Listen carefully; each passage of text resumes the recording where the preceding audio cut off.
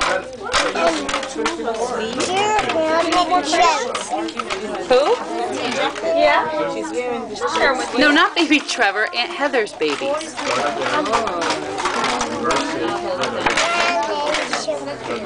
Holden and Sean. Golden and Sean.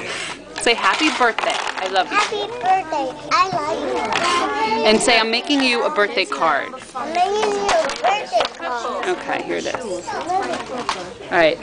Say bye. Can't wait to meet you. Bye.